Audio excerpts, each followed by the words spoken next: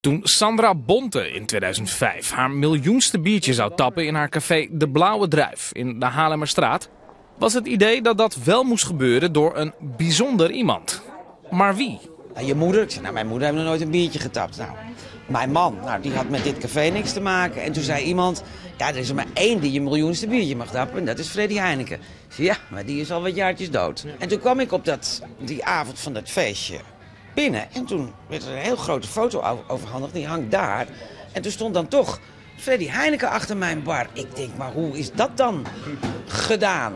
En als je daarboven kijkt, dan zie je dat hij gekidnapt is geworden uit Madame Tussauds.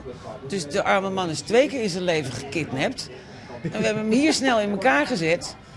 En... Dit is het wassenbeeld uit Madame Tussauds? Ja, ja, ja, ja. er zijn dan mensen die mensen kennen, die mensen kennen, die mensen kennen, ik noem geen namen, die dan daar werken en mee kunnen werken aan zijn tweede kidnapping.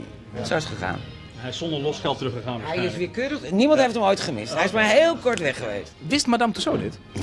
Nee, nee, dat mag niet. En de familie van de Heineken wist het ook niet. Dus het is echt best wel stout. Ja, wat dacht je toen je, toen die foto nou, Eerst dacht ik van, oh, dat hebben ze leuk gefotoshopt.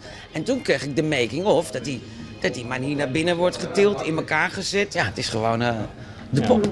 Maar dit is dus gewoon een soort van... Uh coming out. Dit is ooit gebeurd. Dit wist verder helemaal niemand? Nee, nee, nee. Nee, nee, nee, nee. Dat kon echt niet.